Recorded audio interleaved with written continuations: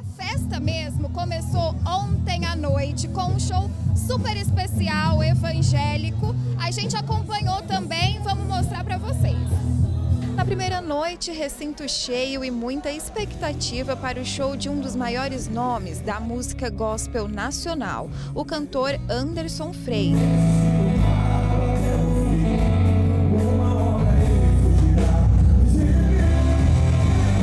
Vi a cidade nos olhos das pessoas, porque eu não vi a cidade, mas eu conheci as pessoas dessa cidade e as poucas pessoas que eu conheci é o suficiente para falar que cidade maravilhosa.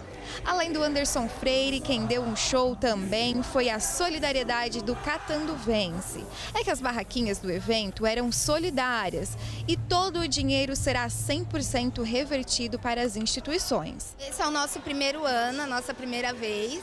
E assim, para nós é, é importante para mostrar, para dar visibilidade do nosso trabalho, da nossa associação, porque a renda gerada aqui vai ser 100% para lá. Atualmente nós estamos atendendo 70 crianças divididas em contraturno escolar. Importantíssima essa ajuda da prefeitura, do prefeito, né? Porque através dessa ajuda, a contribuição é, que nós recebemos da população aqui é toda voltada para a comunidade. A Fátima, diretora da ONG Filhos de Pelo, também está confiante de que a barraquinha de milho será um sucesso e muitos animais poderão ser ajudados. Ontem a gente fez compra de ração, nós compramos 235 quilos de ração, tanto para gatos como para cães, né?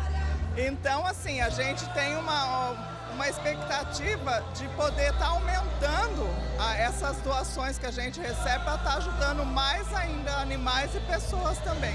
O Alexandre veio de Tabapuã e não veio sozinho não, viu? Viemos em 36 pessoas da igreja Casa de Oração Filadélfia da cidade de Tabapuã. E por que, que, que veio todo mundo aí pro, pro evento? O que, que vocês estão esperando? Estamos esperando primeiro louvar a Deus, né? E também comemoração do aniversário da cidade de Catanduva. Na primeira noite, o evento atraiu um público grande e tem muito mais comemorações. A noite, roupa nova, vai ser uma multidão. É uma oferta oferecida à nossa população.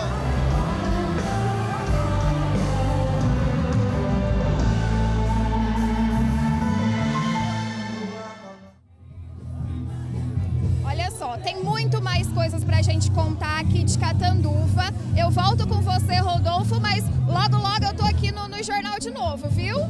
Combinado, que festa bonita. Daqui a pouquinho você volta mostrando uma reportagem muito bacana, falando um pouquinho mais sobre o perfil de Catanduva, essa cidade tão bonita, tão em expansão. Lara, então combinado, daqui a pouquinho eu te chamo de novo para mais um bate-bola, beleza? Bom trabalho por enquanto aí.